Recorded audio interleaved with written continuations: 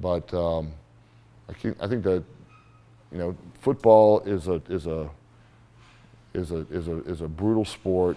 But what you learn in football is um, it's about enjoying the journey. And sure, I enjoyed the journey with Champion Ventures and the run up from $40 million to $2 billion and then the run down to zero.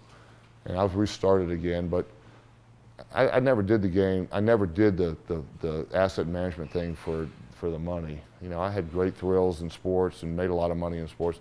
I did it for meeting people like yourselves and meeting some of these startup companies and the entrepreneurs that are running these smart companies.